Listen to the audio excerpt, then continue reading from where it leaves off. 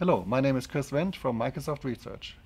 We have this product called Microsoft Translator with an extension called the Microsoft Translator Hub and our uh, users ask us many questions about the right way to evaluate the quality of machine translation and the quality of their own customized machine translation. Dr. Will Lewis from the Microsoft Translator team is here with us to shed some light. Right to the first question. What is the purpose of evaluating the quality of automatic translation and what are our users able to do with this?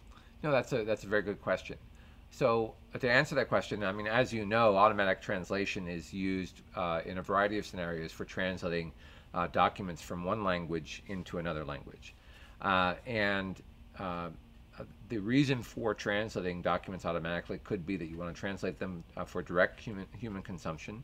You might want to translate them in a post-editing scenario where uh, the output is actually then edited by a human for subsequent consumption or maybe to generate output that uh, other machines might use for data mining or uh, extraction of content or what have you.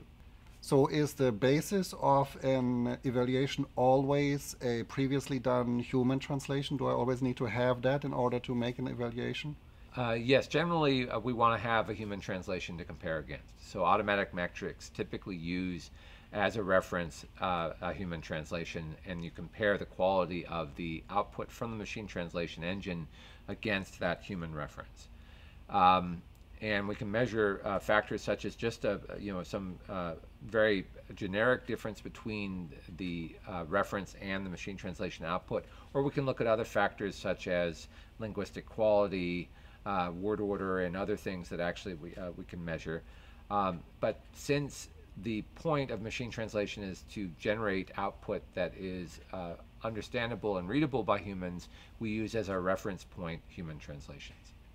Well, can you walk us through the different methods of automatically scoring the quality of, uh, of translation? I understand there's automatic scoring as well as other methods let's look at the automatic scoring methods okay. first. So can okay. you give us an overview of that? Yeah, so uh, uh, there are multiple methods for automatic scoring. The basic notion of automatic scoring is to have a reference that you actually compare against and then you generate what we call a score. So there's a there's an actual number assigned to the difference between the machine translation output and the human translation reference.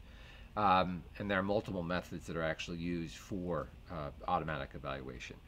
Um, the point of automatic evaluation is that it's fast and cheap. If uh, if I want to look at multiple uh, uh languages, say in comparison, are these automatic uh, scoring methods giving me any indication that allows me to compare between languages? So is is a score comparable between language A and language B? The automatic scoring method that's typically used, or that, and that we use, is BLEU, uh, spelled B-L-E-U. And the BLEU score is basically an automatic method that looks at um, the machine translation output and human reference. What about comparing the quality of a, say, a rule-based machine translation engine and a statistical machine translation right. engine? Does the BLEU score or any automatic score help me there? The, the kind of fundamental uh, comparison point for BLEU is the word. And so and it's kind of a, a, statistical it's biased towards statistical engines. So phrase-based engines tend to fare better in BLEU than than rule-based engines.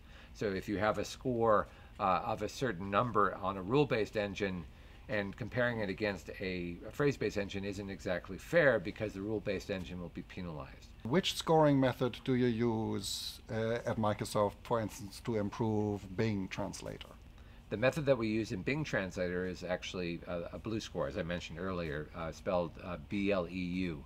And a BLEU score is a measure of the difference between the human translation and the machine translation output. And it looks at uh, uh the uh, presence or absence of particular words as well as their ordering and the uh, degree of distortion, how, how much they actually are, are separated in the, in the output the BLEU score is typically measured on a zero to one scale, so it's a it's a, a, a effectively a probability that's assigned to that output, and we oftentimes uh, multiply that number by 100 and uh, give it as a percent. So we'll talk about a BLEU score of say 35 or a BLEU score of of 42, and that more or less means that we've taken the, the actual output and multiplied it by 100.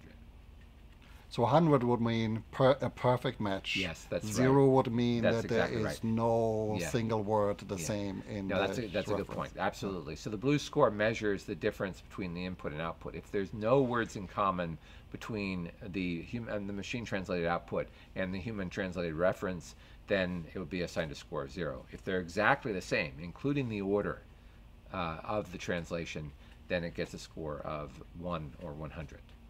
Can you explain the difference between uh, autom- differences between automatic uh, evaluation and, and, and human scoring? Yes, absolutely. So BLEU has been shown to be highly correlated with human evaluations. Uh, that's one of the reasons we're able to use it uh, because we can use it as a surrogate for uh, an actual human evaluation. Um, but some of the problems with BLEU is it's very sensitive to uh, the words that are present in the input, uh, or excuse me, in the output of the machine translation engine. So if we break the words differently, uh, um, using what's called a word breaker from um, in our machine translation output, it can actually give us a different BLEU score. Word breaking sounds like it would be something that's fairly trivial, and actually it isn't. And it's especially not trivial with languages such as Chinese or Thai, where the notion of word is flexible or where the notion of word is not completely clear. BLEU, it's important that you basically take into account what word breaker is being used and between uh, uh, the comparisons that you're doing. I have the different uh, machine translation vendors quote different BLEU scores uh, uh, to me. What else do I need to watch out for when, when, when somebody quotes a BLEU score to me? Um, And it gets back, at, first of all, since we talked about word breakers already, uh, the word breaker obviously has an impact on uh, the, uh, the, the BLEU score that's actually quoted. So that needs to be taken into account. Typically, if you have multiple references, the BLEU score tends to be higher. So if you hear a very large uh, BLEU score, someone gives you a, a value that seems very high, you can ask them if there are multiple references that are being used, because then that is the reason that the score is actually higher. So what is the test that's, that's being used?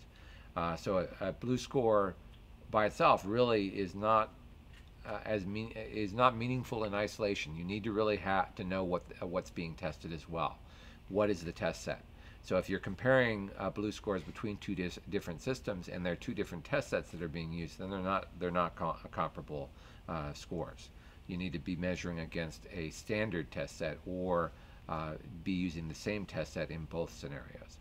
Or probably it makes sense to use my own test Yeah. that, that comes out of my own application scenario. absolutely. If you, if you have uh, your own test set and have the ability to measure it against another engine, for instance, that is going to be the most meaningful result, especially if that test set is representative of the translations that you want to produce uh, from your particular machine translation engine. In Microsoft Translator Hub, I'm getting a BLEU score after every training that, that I'm doing. What is it telling me? So the BLEU score that you receive after training gives you a sense of the quality of that particular machine translation that you've built. So each training uh, will produce a different BLEU score. Um, so the BLEU score then gives you a sense of the improvement, how you're actually, how the engine's actually improving, and gives you a sense of what of the direction that you actually want to go in. So higher BLEU scores are better. I always see two numbers. So I see the Ah. I see the BLEU score Yeah. and a, a, a, say a negative or a positive number behind that. What does that tell me? Okay, so uh, the BLEU score in the hub basically is measured not only against your engine, it's also measuring against our generic uh, purpose engine, basically one that's not trained on your particular data. So the difference you you see there is the difference between your engine and the generic engine. It also you can compare uh, uh, different iterations of your engine as well over time. So it can, you can compare your engine now against the uh, the training that you did, uh, let's say a week ago. We talked about the uh, the, the, the test set, uh, the the BLEU score being relative to the test set.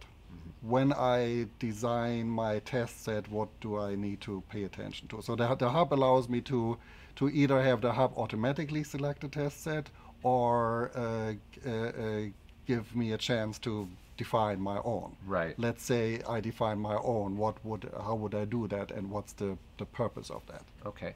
The hub automatically, uh, as you meant, as you indicated, automatically you can actually t- uh, tell it to automatically generate your own test set. Um, by doing that, it basically samples uh, sentences from your training data to produce a test set that you can continue, uh, can continue to use. Now, one of the things it does when it actually samples that test set is to ensure that, that the test data that's in that test set does not overlap with the data that's in the training data. And that's actually very important. Uh, so if you're producing your own test set, you need to ensure that the test data in your test set do not overlap with the training data that you're training on. That actually invalidates the results if they actually do overlap. You also want to have a test set that's representative of the kinds of translations that you want to do. So what what is it that you want to output? What is the kind of documents that you're going to be passing through your engine? You want your test set to be as representative as possible of the kind of content that you're actually going to be translating using your engine. That's good. That's an that's an interesting aspect. Yeah. I need to make a good guess of what I'm going to translate in the in the future and choose what looks very Right. similar. to Well, you want to measure the quality improvements or the, the quality on content that matters to you, not some other content that doesn't isn't relevant. Yeah. Well, in addition to the test data, the hub also asks me to define tuning data, and I can either uh, have that selected automatically or I can submit my own uh,